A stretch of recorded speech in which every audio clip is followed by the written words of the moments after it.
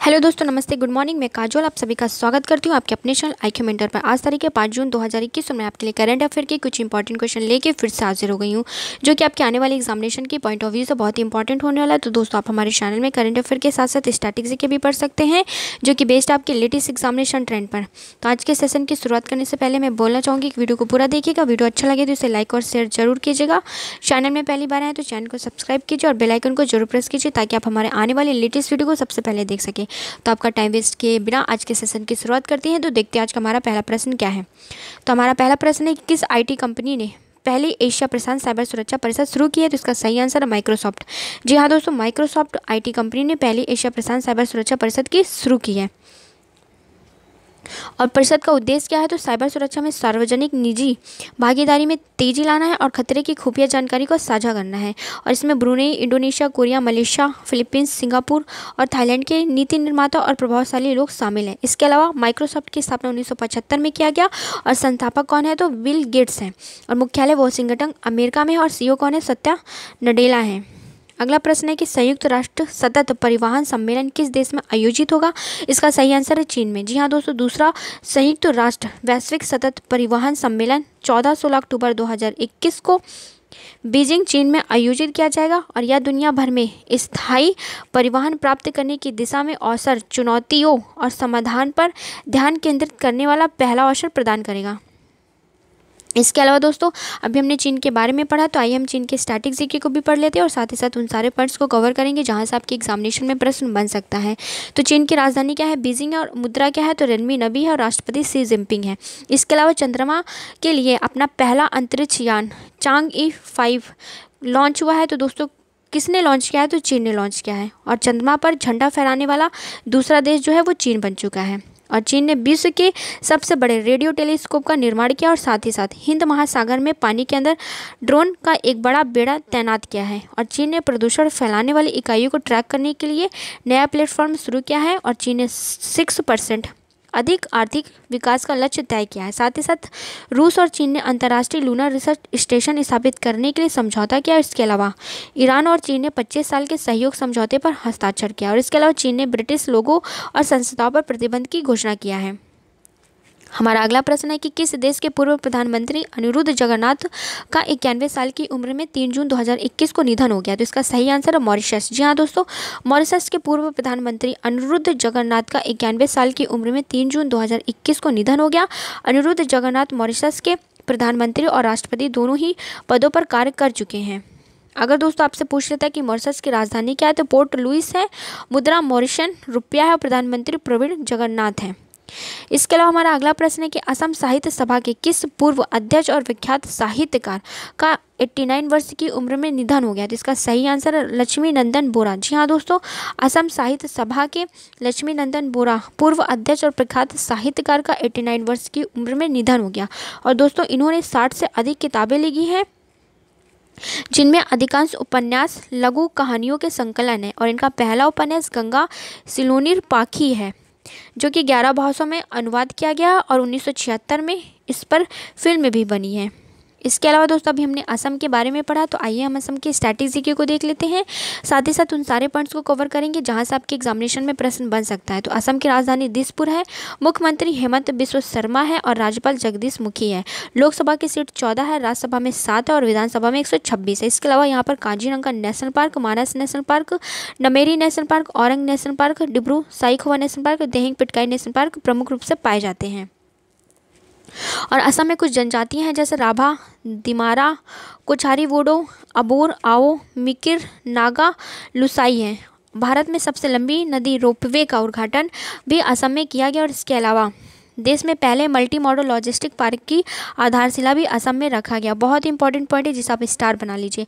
और पीसेस की परीक्षा में ट्रांसजेंडर को शामिल करने वाला पहला राज्य जो है, वो असम बना है। पूर्वोत्तर के पहले गाय अस्पताल का उद्घाटन भी असम में किया गया है। और इसके अलावा रायमोना राष्ट्रीय उद्यान को मंजूरी देने की प्रक्रिया भी शुरू कर दी गई है और सिलचर में मल्टी मॉडल लॉजिस्टिक पार्क की स्थापना करने की घोषणा की गई है। और असम में महिलाओं और बुज़ुर्गों के लिए फ्री बस सेवा शुरू की गई। इसके अलावा प्रधानमंत्री नरेंद्र मोदी राज्य के स्वदेशी भूमि लोगों को पहला भूमि का पट्टा देंगे और आत्मसमर्पित उग्रवादियों को वित्तीय सहायता प्रदान करेंगे। साथ ही साथ चाह बगीचा धन पुरस्कार का मेले का आयोजन भी असम में किया गया है।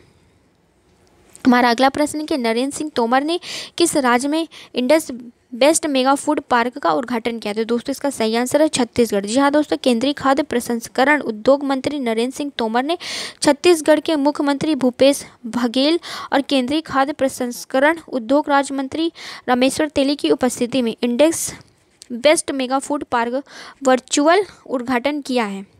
इसके अलावा दोस्तों, हमने छत्तीसगढ़ के बारे में पढ़ा तो आइए हम इसके स्टैटिस्टिक्स को भी पढ़ लेते हैं और साथ ही साथ उन सारे पॉइंट्स को कवर करेंगे, जहाँ से आपके एग्जामिनेशन में प्रश्न बन सकते हैं। तो दोस्तों, छत्तीसगढ़ की राजधानी रायपुर है, मुख्यमंत्री भूपेश बघेल हैं, राज्यपाल अनसुईया उइके हैं, और लोकसभा की सीट ग्यारह है, राज्यसभा में पाँच है और विधानसभा में इक्यानवे सीट है।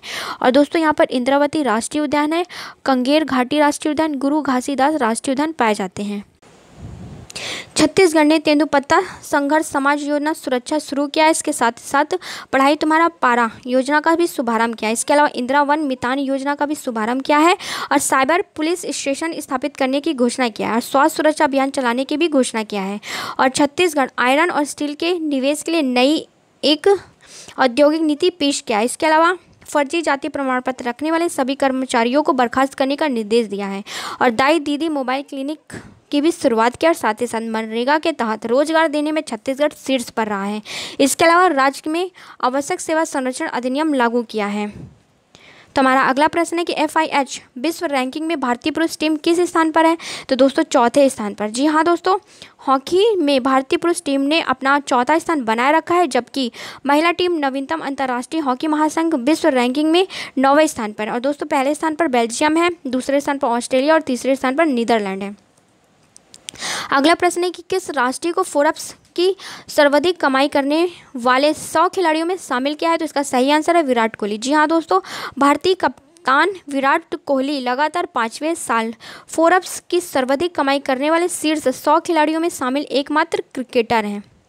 हमारा अगला प्रश्न है कि एशियाई विकास बैंक ने किस राज्य में सड़क के बुनियादी ढांचे का उन्नयन करने हेतु केंद्र सरकार के साथ 25 लाख डॉलर की ऋण सहायता के लिए एक समझौते पर हस्ताक्षर किए हैं। तो इसका सही आंसर है सिक्किम। जी हाँ दोस्तों, एशियाई विकास बैंक ने सिक्किम राज्य के सड़क के बुनियादी ढांचे का उन्नयन करने हेतु केंद्र सरकार के साथ पच्चीस लाख डॉलर की ऋण सहायता के लिए एक समझौते पर हस्ताक्षर किया है।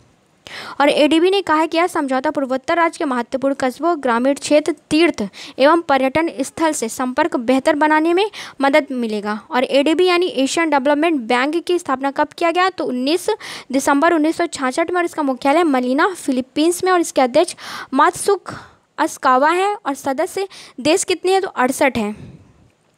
इसके अलावा दोस्तों, अभी हमने सिक्किम के बारे में पढ़ा तो आइए हम सिक्किम की स्ट्रैटेजी को देख लेते हैं। सिक्किम की राजधानी क्या है? तो गंगटोक है, मुख्यमंत्री प्रेम सिंह तमंग है, राज्यपाल गंगा प्रसाद है। लोकसभा की सीट एक है, राज्यसभा में एक है और विधानसभा में बत्तीस सीट है।